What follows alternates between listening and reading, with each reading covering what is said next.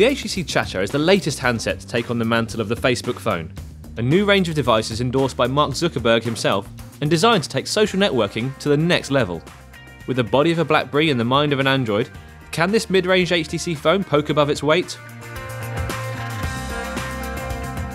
There is no doubt that HTC Sense has become one of the big successes of the Android story, and the way it's integrated with Facebook on the Chacha is both intuitive and inventive.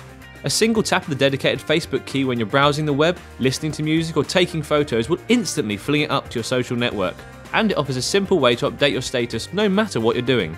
Tapping out your status or just firing off an email is a piece of cake with the Chacha, mainly because the keyboard is actually quite usable.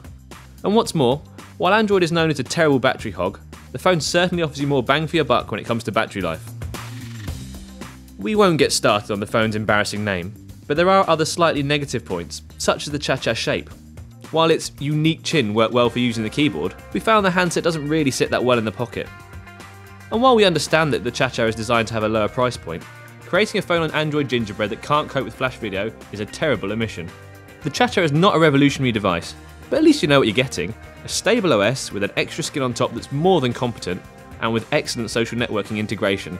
And for the majority of teens and students who have their eye on this Facebook phone, that's more than enough.